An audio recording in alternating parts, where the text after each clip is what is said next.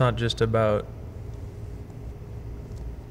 on your knees, you know, praying bef- when you get up or when you go to bed.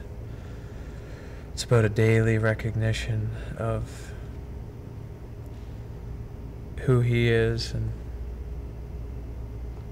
and how he views us. I think how we see that God views us is important, but to me, it's just trying to live it out daily. Um, but just